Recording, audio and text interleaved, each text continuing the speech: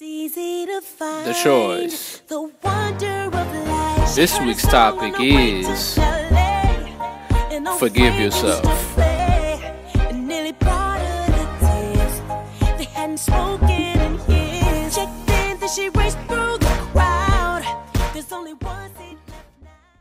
Understand this people are in your life for a reason, for a season, for a lesson, or for a blessing. It's up to you to know which one it is. Regardless of where you're at in life, as we push forward to try to better ourselves in life, there are going to be people that's going to come in and out our lives.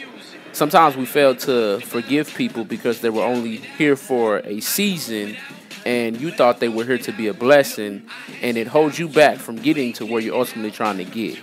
It's time to forgive. Life is always moving at a very fast pace. And sometimes there's things that happen that we aren't necessarily prepared for. For instance, you're growing a business, you have major plans for this person, and then all of a sudden they leave. Well, instead of being mad at them, you should forgive them and thank them for the time that you had with them, understanding that they were just here for a season. Right now, you're struggling to forgive them, but you have to first forgive yourself for not having their best interests in mind. Make it a great day or not, the choice is yours.